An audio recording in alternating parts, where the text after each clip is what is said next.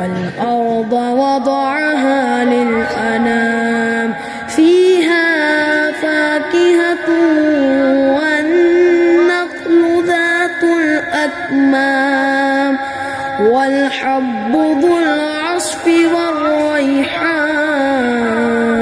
فبأي آلاء ربكما تكذبان؟